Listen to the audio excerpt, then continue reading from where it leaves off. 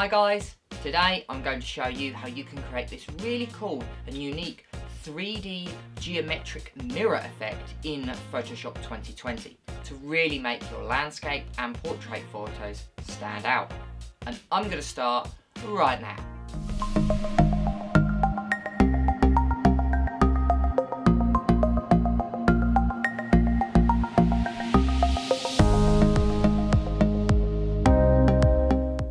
Hi guys and welcome back to the channel. My name is James and if it is the very first time to this channel and you want to learn all about Photoshop, Lightroom and everything camera related, start now by subscribing and hitting the bell so you don't miss anything. Now in this tutorial guys I'm going to show you step by step on how to create this quite unique looking three-dimensional mirror effect in Photoshop 2020. Now this uh, effect is only need two things. The first thing you're going to need is a geometric shape of your choice. Now you can find three-dimensional geometric shapes on um, the internet, you can Google them, or if you would like, you can always make one yourself. And the second thing you're going to need is a photo, preferably a photo with an, either a nice clean landscape or a photo with a portrait. So once you've chosen those two things, if you want to have a look at any of the pre-selected photos that I'll be using in my tutorial, make sure you go to the link in the description and you can download them all from there for free. But without further ado, let's get started. Okay guys, so the first thing you want to do is you want to choose a photo and then you want to choose a geometric three-dimensional shape. Now if you want to use the same shape that I'm using and the same photo, then go ahead to the link in the description and you can download them both for free and I'll show you what they look like now.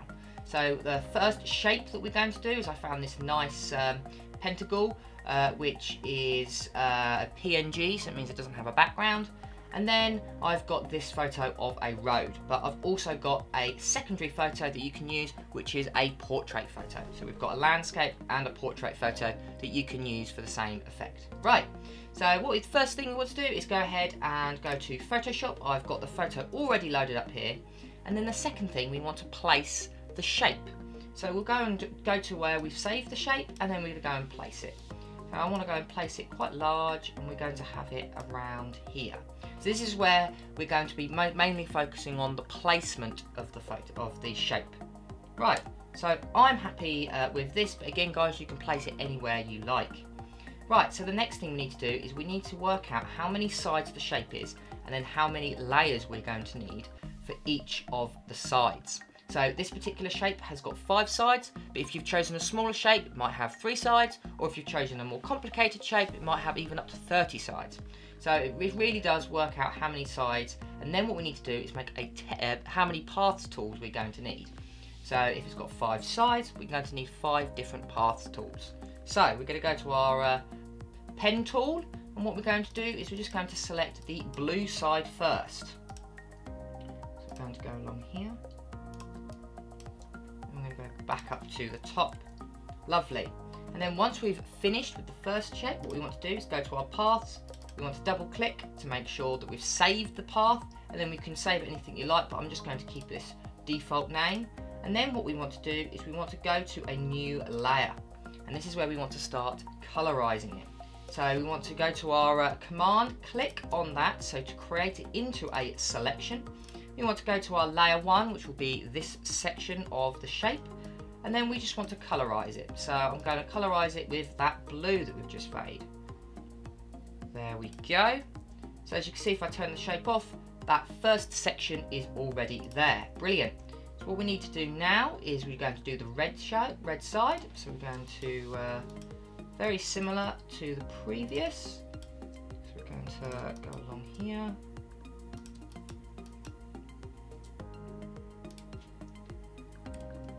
Lovely. And then again, we guys, we're going to go to the path tool. We're going to double click to make sure that we've saved the path. Then we're going to go command click on that layer. What we're going to do then is going to go to a new layer to make sure we've got a, the each layer needs to be each side of the shape. And then we're going to just colour this in red. Now you don't have to colour them in different colours, but it will be helpful in uh, the next step that I'll show you as we're going to try and work out what part of the photo needs to be duplicated. uh, but you can just name, uh, colour them all the same colour. But just for this tutorial guys, I'm going to show you how uh, by just using the colours just as a reference. So we're going to colour this colour there. Lovely. Then we're just going to do the bottom tool. So remember guys, using the pen tool, you want to select each of this. You can also use the lasso tool or any selection tool of your choice, but my favourite is the pen tool because we can always go in afterwards and change it. So I'm going to go to our paths, we're just going to double click on that work path to save it, then we're going to command click on the thumbnail, brings up a new selection, and then we want to go and make a new layer, and then just going to colour it with that. Lovely. So by the end of it, you should have as many sides as there are layers. So if you've got a five-sided shape like myself, you're going to, or you should have five new layers. Go along here. There we go. So that is perfectly matched up. And then we're going to go to our path tool again. Remember to double click, command click on the path tool layer thumbnail, and that will pop up with that. And then remember guys to click a new layer and then to colorize that layer just using either the brush or the paint bucket tool. Lovely. So then if we go to our uh, pex, um, pentagon shape uh, effect PNG, if we turn that off, as you can see, we've got this lovely effect left afterwards. Right, so the next thing we need to do now is we need to start applying the reflections of the surrounding atmosphere and the surrounding photo onto this shape. Right, so what we're going to do first is we're going to just turn each one of them off apart from the first one. And then what we want to do is duplicate the background layer. So we're going to press Command J on our keyboard. That will duplicate it. You can also drag it down to the new layer icon in the bottom right hand corner. And then you want to move it just above that new layer icon. And you'll see it disappears. Then what you want to do is clip it to the layer. So you can right click and then what you want to do is to go to create clipping mask. Or what you can do is hold down alt in between the two layers and you can do the same. Then what we need to do is move the photo. So we're going to press Command T on our keyboard and then what we're going to do is just make it ever so slightly smaller. And as you can see, this effect is already starting to take shape a little bit. And what I'm going to do is make it look just a little bit different to the background. So we're going to go for something like so. Lovely. And what we need to do now, guys, is do that five times for each of the sides. So we're going to press Command J. We're going to move it above that layer 2. We're going to Command click, or what you can do is right click and go down to uh, create clipping mask. And then what you want to do is press Command T or free transform up in the edit here. So it's uh, in this section here of the edit. And then you just want to slightly move the photo. And as you can see it starts to create this reflection effect. So I'm going to make this a bit bigger and move it over probably to that side there. Lovely. And then what we want to do is turn on layer 3 so that's this very small portion here. Again guys pressing command J or dragging it down to the new layer icon dragging it above to a top of layer 3 remember to create a clipping mask and then you want to press Command T or go up to Edit, Free Transform and then you can play around with the photo to make it look like a reflection. So we're going to go for something like that. Right, so we just need to do the bottom half. So we've got that sun and that one left. So we're going to do this one here. So we're going to press Command J, drag it up to above layer 4, press click and command or again guys you can also go to create clipping mask and then you want to go to command T or free transform which is found here. And then you just want to slightly change the shape and angle of it to make it look like a reflection. So we're going to go for that. And then the final shape we're going to drop it here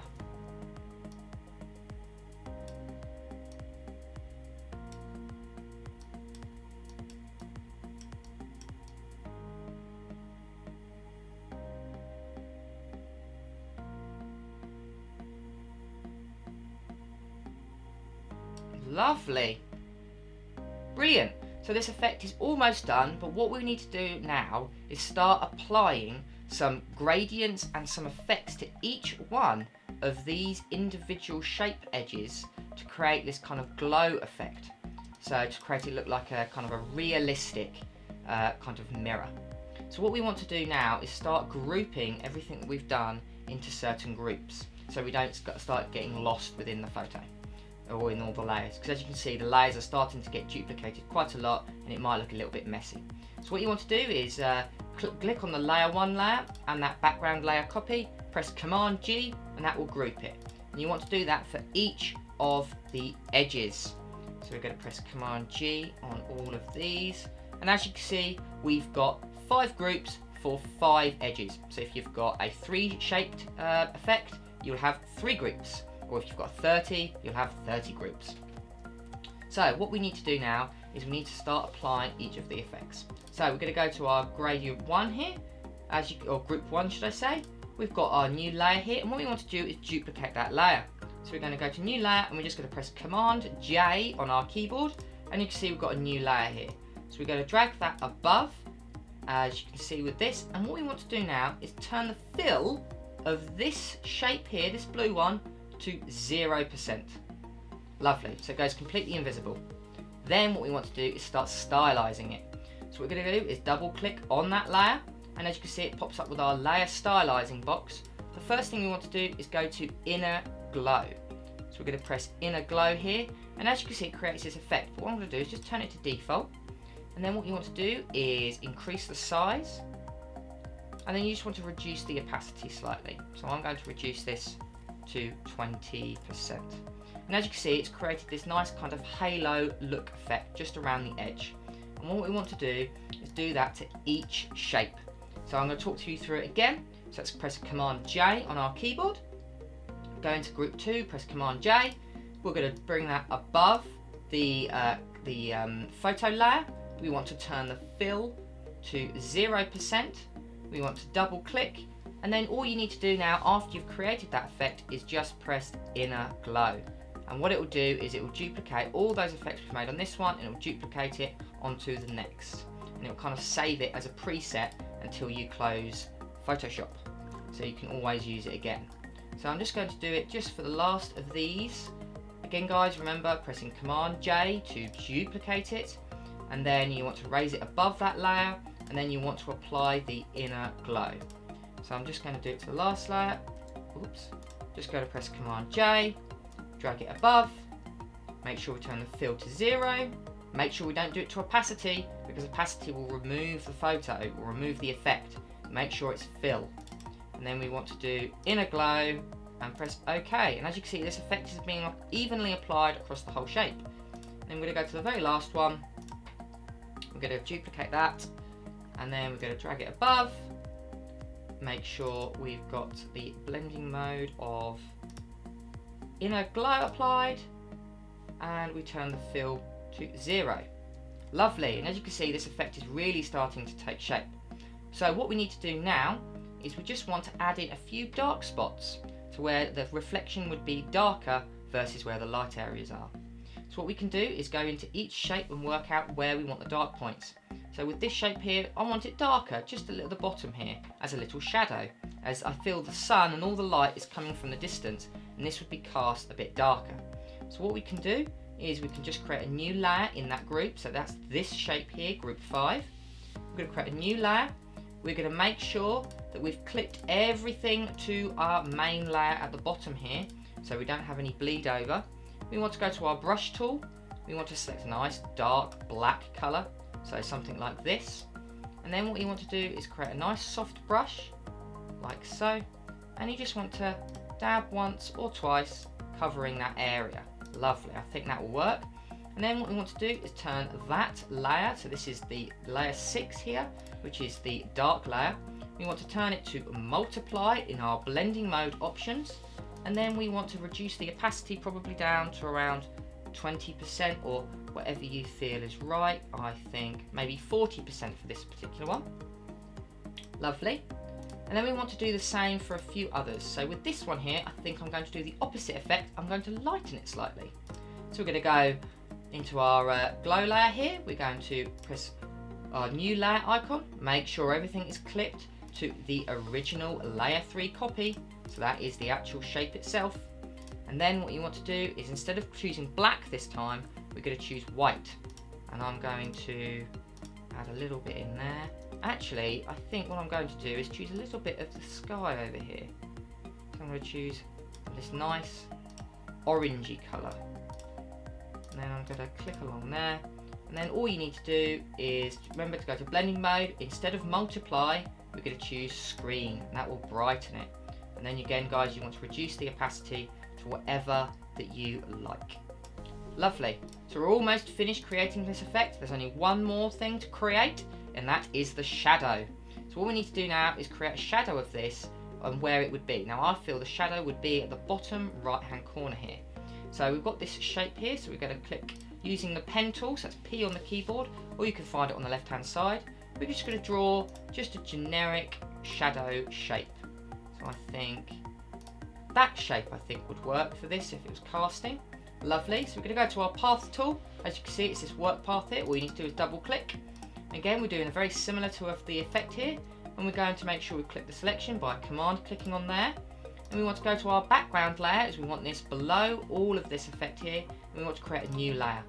So once we create a new layer, that will be layer 8. We want to make sure that we've got black selected, so go ahead and choose black in your uh, colour picker tool. Get the brush, and we just want to brush along here like so. Lovely. But this shadow is way too harsh and it doesn't look realistic at all. So we're going to add some blur to it. Now, a best blur for an effect that has a cast a very light shadow would be using motion blur. So what we want to do is go to filter at the top here, go to blur, and then what we want to do is choose motion blur. And when we choose motion blur, what you want to do is choose the, where the shade or where the sunlight is coming from. So in this photo, it's coming from a very slight upward angle. So I've chosen minus 25, I think, for this particular shape. And we want to turn the distance all the way up to probably around 800 pixels. And as you can see, it creates this kind of effect here where it's just slightly haloing around the edge and it's not a, a crisp, sharp shadow, which is perfect for sunset shadows. So all we have to do is press OK and then we just want to turn the shadow to multiply, which will darken all of the pixels. And then we just want to reduce the opacity all the way down to where you feel happy with. Lovely. And there's a few more effects I think we want to add to it. So I think we want to brighten the entire photo slightly. So I think what we're going to do is just brighten it just slightly, raising the blacks and midtones ever so slightly. I think I'm going to create a slightly darker shadow. I think I'm going to increase it to 70 like so. And then I think we're going to add a uh, colour overlay layer. So I think we're going to go to our colour lookup and I think I'm going to add a nice LUT file and I think the one I'm going to choose is 2strip. Ah, this is looking a lot better now and then I think I'm going to change this to colour.